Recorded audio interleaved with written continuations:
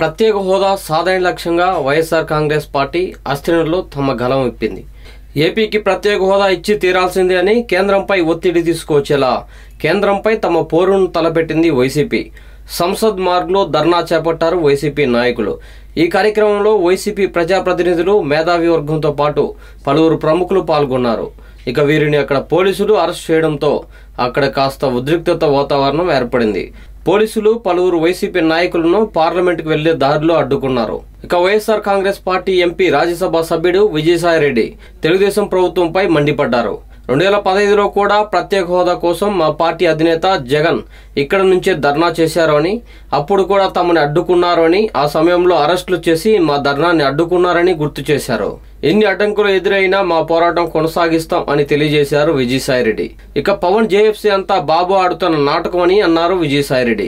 ఇదంతా చంద్రబాబు నాయుడు ఆడిస్తున్న డ్రామా అని కొట్టిపారేశారు. దీనికి నిర్మాత దర్శకత్వం చంద్రబాబు అని అన్నారు. ఈ జాయింట్ ఫ్యాక్ట్స్ ఫైండింగ్ కమిటీలో అందరూ పెయిడ్ ఆర్టిస్టులని ఆయన విమర్శించారు. ఏపీలో ప్రజలందరూ ఈ అవినీతి ప్రభుత్వ పాలన చూస్తున్నారు అని వారికి వచ్చే ఎన్నికల్లో ఎవరికి ఓటు వేయాలో తెలుసు అని ఫైర్ అయ్యారు విజయసాయిరెడ్డి ఇక పవన్ కళ్యాణ్ చెప్పినట్లు తాము అవిశ్వాస తీర్మానం పెడతాం.